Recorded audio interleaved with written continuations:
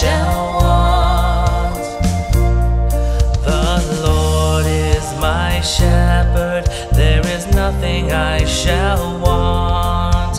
Fresh and green are the pastures where he gives me repose. Beside restful waters, he leads me to revive my drooping spirit.